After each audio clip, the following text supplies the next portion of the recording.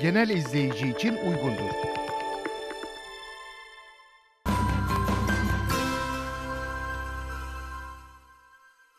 Merhaba ben Esat Başaran, e, kilo yönetimi uzmanı. Bugün size sağlıklı beslenmek nasıl olur, nelerden kaçınmalıyız, nelere dikkat etmeliyiz, kilo nasıl verilir gibi konulardan bahsedeceğim. Evet sağlıklı beslenme deyince e, insanlar genelde bu konuyla alakalı çok e, fazla bilgi kirliliğinden kaynaklı bir sürü şeyler düşünüyorlar. Sağlıklı beslenmek bence her şeyden yemektir. Yani diyet yapmak, şunu yiyip bunu yememek, işte kilo e, almamak için e, kalorisiz besinlerle beslenmek değildir. Burada önemli olan sağlıklı beslenmenin ana sırrı az ve sık yemektir. Kilo kilo kaybı veya kilonuzu kontrol altına almak için az ve sık yemeniz gerekiyor. Canınız ne istiyorsa, örnek veriyorum hamburger mi istiyor? Hamburger yiyorsunuz ama 4 lokma yiyorsunuz. Bırakıyorsunuz bir kenara sarıyorsunuz. 2 saat sonra bir 4 lokma daha yiyorsunuz. 2 saat sonra bir 4 lokma daha yiyorsunuz.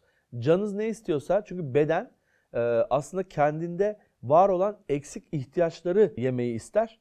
Ve siz bunu eğer vermez de farklı bir şey seçerseniz o zaman sağlık problemleri çekmeye başlarsınız. Yani bir sabah kahvaltısı yediğim bir de akşam yemeği yiyeyim derseniz aradaki e, uzun vadedeki boşluk metabolizmanızı durdurma yoluna seçecektir. Çünkü vücut dirensiz kalmamayı tercih edecektir. Ama siz 2 saatte bir beslenmeyi seçerseniz bu sefer 2 saatte ne yiyorsa hepsini eriteyim girecektir. Metabolizma da bu şekilde, sistem bu şekilde çalışır. Özellikle e, kilolu yani çok fazla bir tencereyi bir öğünde e, yiyen insanlar otomatikman bunu e, az ve sıka çekemezler. Yani ben az yiyeyim 2 saat sonra bir daha yiyeyim diyemez.